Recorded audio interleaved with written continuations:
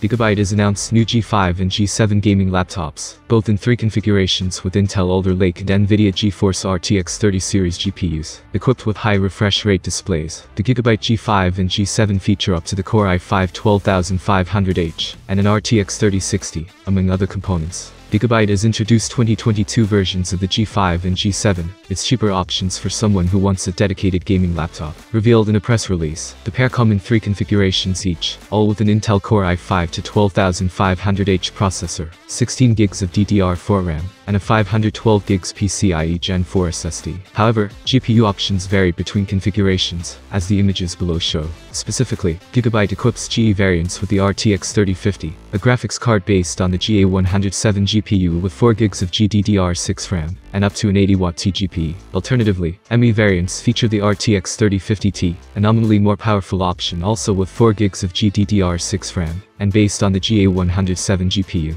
Also, Gigabyte offers the RTX 3060 with KE variants, a graphics card with 6 gigs of GDDR6 RAM, that NVIDIA bases on the GA106 GPU. According to our database, the RTX 3050T can only manage 68% of the performance that the RTX 3060 achieves in games. Unsurprisingly, the RTX 3050 fares worse still, with it sitting at 62% performance relative to the RTX 3060. In other words, little separates the RTX 3050 and RTX 3050 Ti, but there is a huge gap between both RTX 3050 series GPUs and the RTX 3060. Separately, the G5 and G7 come with 1080p and 144Hz displays, plus numerous ports for connecting accessories and peripherals. Unfortunately, Gigabyte has not revealed pricing or availability yet. For reference, their predecessors started at approximately 899 euros. You can find more details about both machines on Gigabyte's website. If you have any questions, you can ask me in the comments below. Thanks for watching, have a nice day, and see you soon.